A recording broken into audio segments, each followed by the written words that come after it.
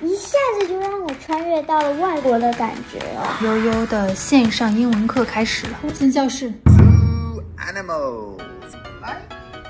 Yes，用外语跟我讲话，但是我完全都听得懂。